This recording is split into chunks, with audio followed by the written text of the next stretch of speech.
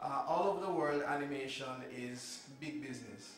You may have heard or you may have seen in the papers where they talk about it being a 230 billion dollar industry worldwide, and pretty much Jamaica wants to get a, a piece of that pie. And we have to thank JAMPRO uh, primarily for bringing animation back to Jamaica in a big way in collaboration with the World Bank, uh, MSTEM, and, and uh, the Canadian High Commission. Um, I say in a big way because animation existed here before, like back in the 80s. I don't know how many of you may have, may have remembered like the Quenchade commercial or the Vienna sausage commercial where you had a little cartoon sausage running across the screen. Um, but pretty much animation didn't take off in a big way back then, as in studios weren't being created, that sort of thing. Um, in the 90s, it sort of researched uh, when a, a fellow a, a, fellow who lives, I believe, in England, named George McBean, came down with UNICEF and was trying to introduce it again to UWI and Edna, uh, but again, it didn't really um, take off from that point.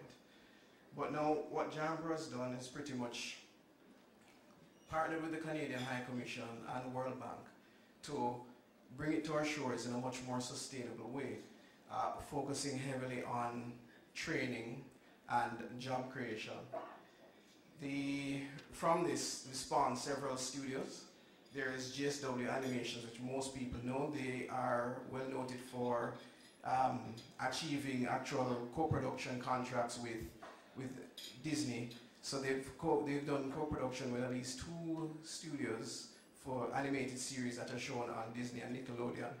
Uh, there is Alcyon, which is they are the creators of Cabbie Chronicles. You may have heard of Cabbie Chronicles or seen it. That was aired on Flow and TVJ, sponsored by St. Mary's Chips, actually. And um, there is Skyray Studios. They do a lot of commercial work, both for local and overseas companies, and they do educational um, programming and, and, and um, interactive things. Um, notable mentions would be like Mental Throne, which a freelancer. And this is just to show you the diversity of um, you know, the job scope of animation. You could start a studio or you can be a freelancer or a boutique studio, which is like a one to five man shop. But Mental Chung was a self-taught 3D animator who he exploded a few years ago when he did some animations with some celebrities like Bounty Killer, Beenie Man, Usain Bolt, caricaturing them in a very comedic way. And since then he's landed jobs um, animating for commercials and um, TV programming that's aired on TVJ and CVM. Uh, notable mentions would be like Night Vision Media, who do a lot of educational interactive software, and uh, Listen Me Caribbean, who does, who they have a, a interactive comic called League of Maroons. So the main, but the main initiative right now is business process outsourcing. The this is, you know, working on an animated series for a studio from another country. They look at Jamaica as, well, I should say, they look at the Caribbean as the next big area to, you know, look towards outsourcing. Because in the 80s, it was Japan. You know, Japan, where they were co-producing with American studios to produce things like Thundercats and Silverhawks and G.I. Joes. In the 90s, it was the Koreans doing Simpsons and, you know, the, the animations that were popular then. and then in like the early 2000s, it was the you know Indians, and now they're moving to the Caribbean because what usually happens is you kickstart a country's animation industry, you get them involved in business process outsourcing. This is how they get the experience that they need uh, to develop the quality of animation, you know, that the world wants to consume. And then as time goes by and they, they you know, get better at the craft, they go into original content, which is where the real money is. And you know, as they go, get into more and more original content, they kind of, you know, reduce the amount of outsourcing work they, they take in. So pretty much it starts to leave a void and they have to basically move to another region to look for animators. And right now the Caribbean is the big area they're looking at, especially because of our close proximity and the fact that, you know, we have the same, the same time zone as them. So, you know, they don't have to be waking up at 4 o'clock in the morning to call somebody in India to find out, you know, where's the project reached because you're trying to call them during their work hours.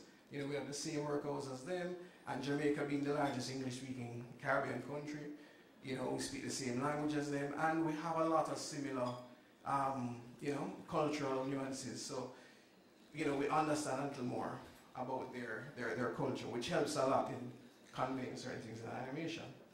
So, we see, where, we see where it's been successful so far. The studios I mentioned have been around for, some of them have been around for a few years, some of them have just started up.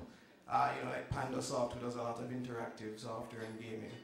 Uh, but, I mean, these collectively, they hire about, you know, 50 animators, and they're looking to hire more.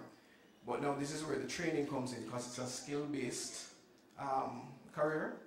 So pretty much the government, JAMPRO, MSTEM, uh, World Bank have all collectively been developing the training sector. So HEART offers training in animation.